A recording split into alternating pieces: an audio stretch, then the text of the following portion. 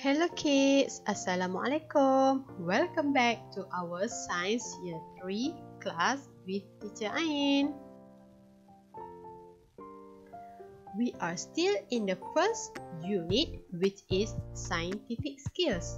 In this scientific skills, you are going to learn about science process skills. For today, we are going to learn about making inferences making inferences. There are six science process skills in year 3 which are observing, classifying, measuring and using numbers, making inferences, predicting and communicating. Today, we are going to focus on making inferences. Before that, let's take your science textbook. In this textbook, you are going to see page 8 until 10. Are you ready? Now let's start. Making inferences. Making an inference is a skill to reasonably explain an initial conclusion of an observation. Membuat inference ialah kemahiran menyatakan kesimpulan awal yang munasabah untuk menerangkan sesuatu pemerhatian. Maybe true or false.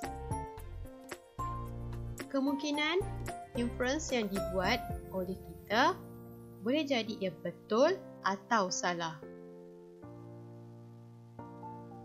Now, let's see this activity. Let us read the conversation between Langi and his friends below. Langi, why does this plant look green and fresh? Okay, why does this plant look green and fresh? Okay, this is an observation. Okay. Now, maybe the plant is watered every day. Yes, can you see the word of maybe? This is the keyword. So, maybe the plant is watered every day. Next, perhaps the plant has been given enough fertilizers. Good!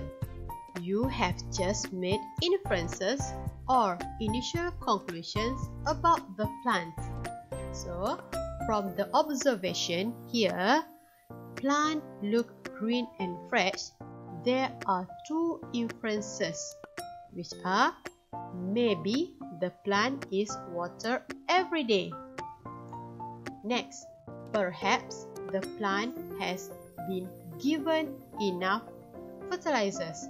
So these are the reasons why this plant look green and fresh. Okay, let's continue. Why are the leaves yellow? You are right. The plant is wilted too.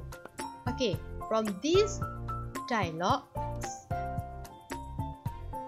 there are two observations here which are leaves yellow and plant is wilted too.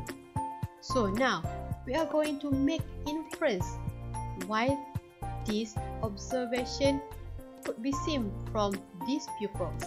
Okay, let's see. Maybe it didn't get enough fertilizers. It looks like the plant did not get enough water.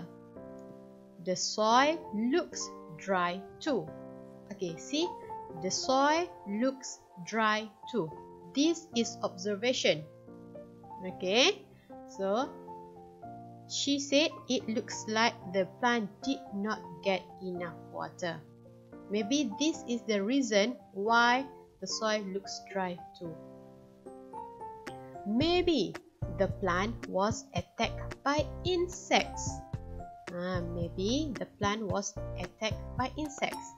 So, from these dialogues, let's see what are the inferences in these dialogues. Okay, maybe the plant did not get enough fertilizers.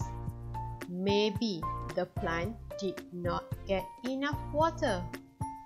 Maybe the plant was attacked by insects.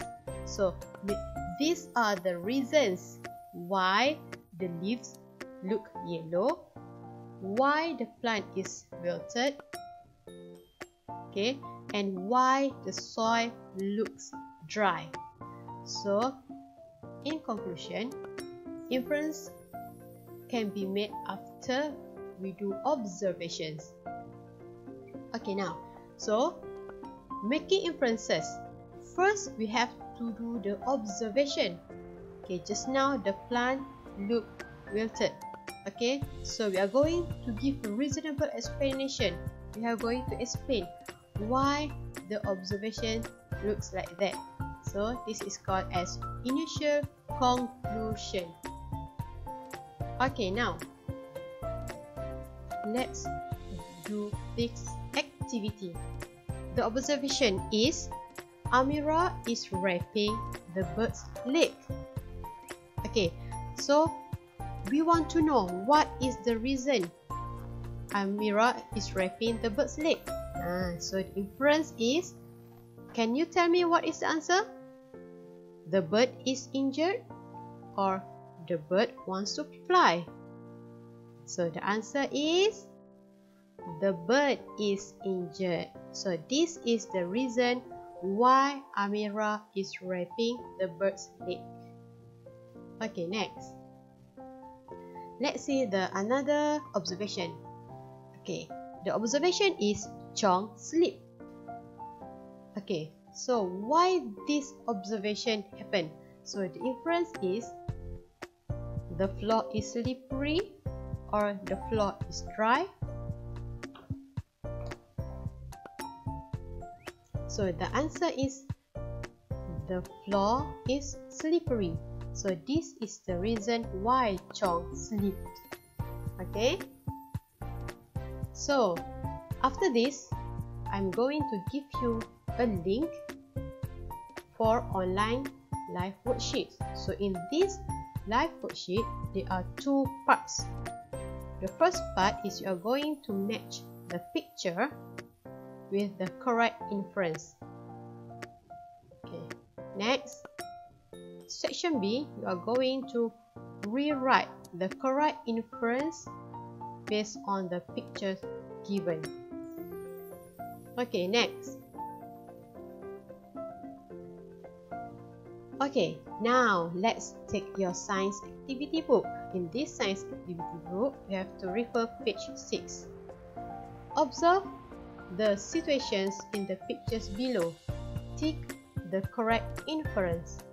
So, number 1, number 2, number 3, and number 4. You have to choose the correct inference for each situation here. Okay. And we are done for today. That's all for today. Thank you. Assalamualaikum.